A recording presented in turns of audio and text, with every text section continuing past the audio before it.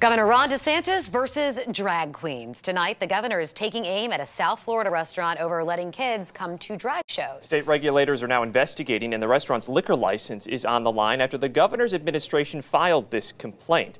The restaurant is called Our House. It's in Miami's Wynwood neighborhood. This all started with a viral video showing a toddler dancing with one of the drag performers. These are screenshots you're seeing from that video attached to this complaint. Now, the governor, who has promoted Florida as the freest state where every parent should have the right to choose what's best for their child, said parents choosing to take their kids to a drag show is part of what he called a disturbing trend in society.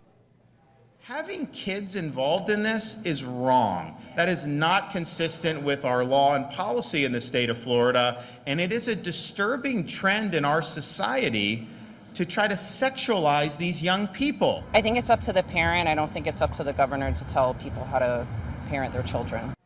Well, critics say the governor is only targeting LGBTQ content, not, say, for instance, taking kids to a restaurant like Hooters, as Democratic State Representative Anna Eskamani suggested on Twitter.